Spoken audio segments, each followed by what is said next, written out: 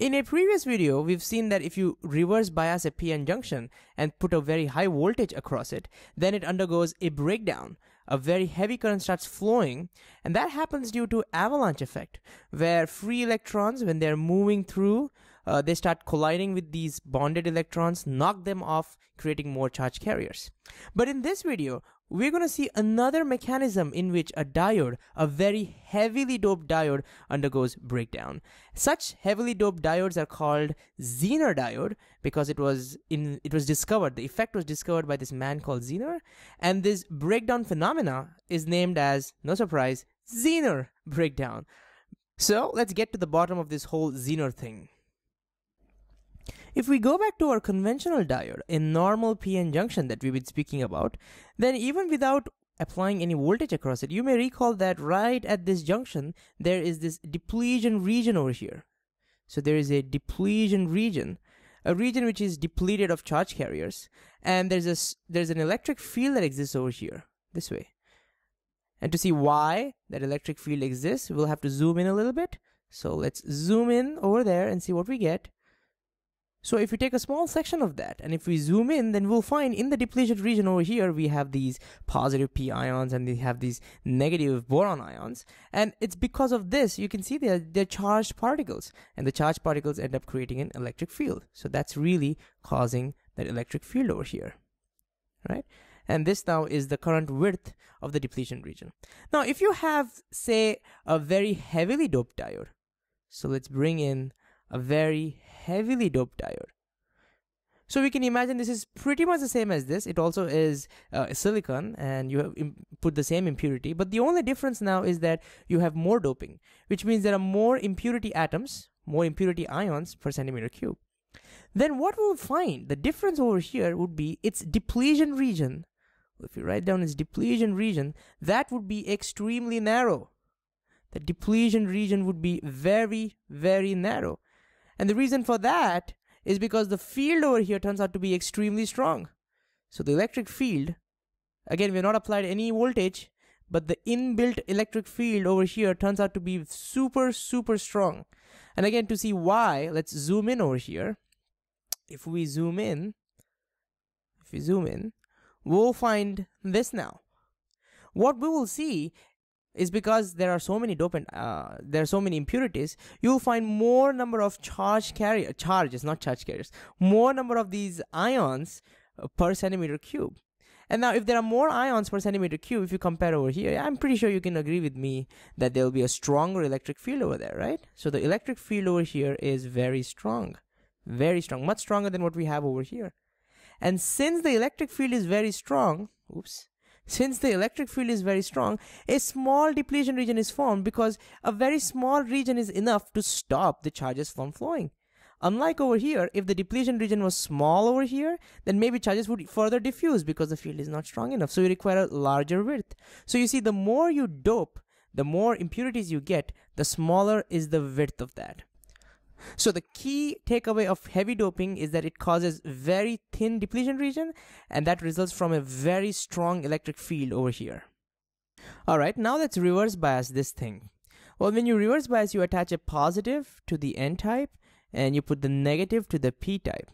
Notice as a result, you are increasing that electric field. Can you see that? Because this side was already positive over here ions. So you made it more positive. This was already negative. You're making it more negative. So as a result, what happens is this electric, this uh, electric field over here increases and the depletion region widens. That causes a minority carriers to go from here to here.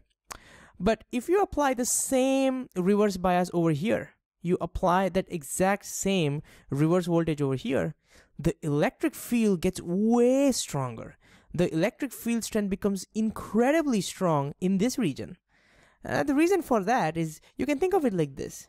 You see, if you, you think about the voltage as the difference in height between two points, like you have a low height over here and you have a higher height over here, uh, if the difference in the height is over a large span like this, as you can see, then notice that the slope that connects them is not much. It's not much a steep slope.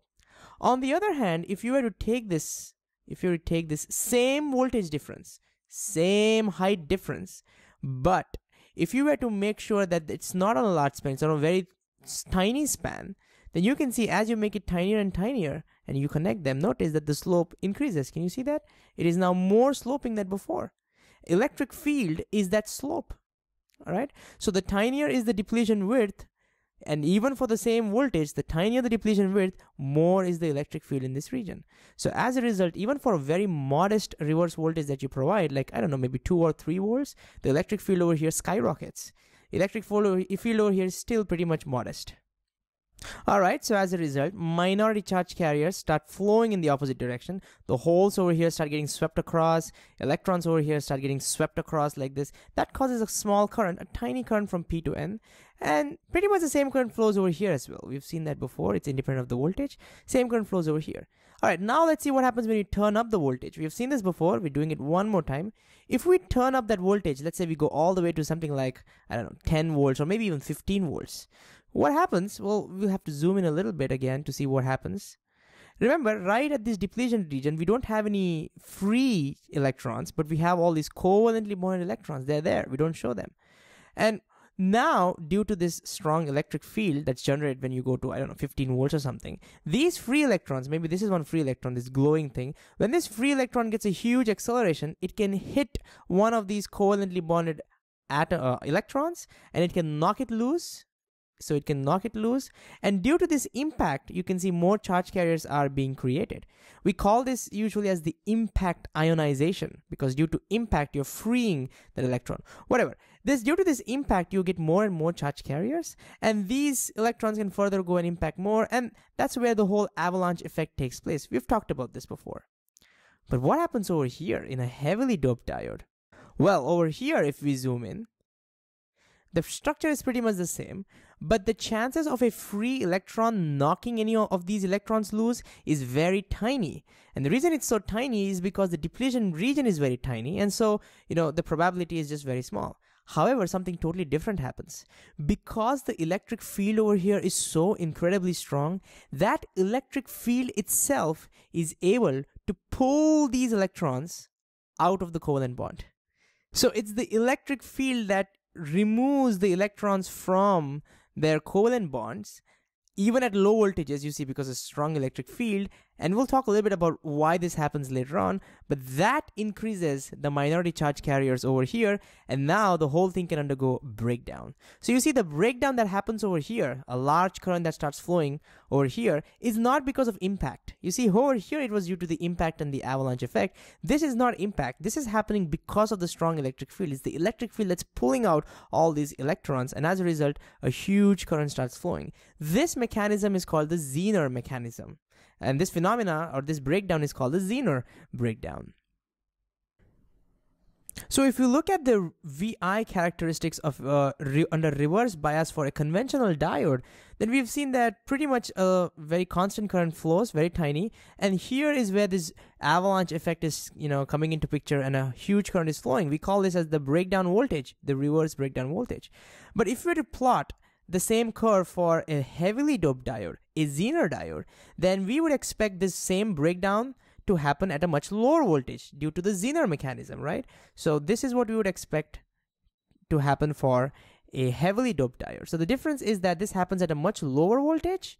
So let me write that down. This happens at a much yeah, so this happens at a much lower voltage. We call this as VZ, the Zener breakdown voltage.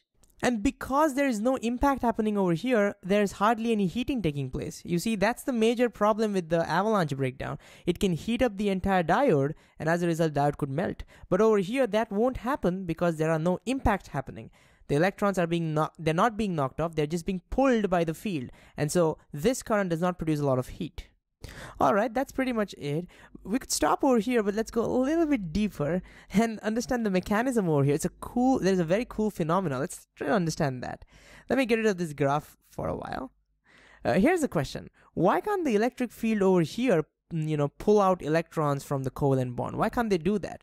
Why only it happens over here? To answer that question, we need to really understand what these electrons feel.